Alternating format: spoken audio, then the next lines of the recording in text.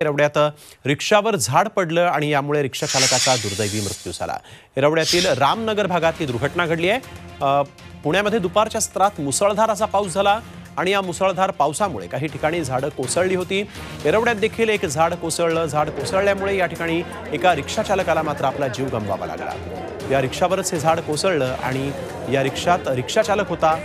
त्याचा मात्र या अपघातात दुर्दैवी अंत झाला आहे झाड कोसळल्यामुळे पुण्यात एका रिक्षा चालकाचा दुर्दैवी अंत झाला आहे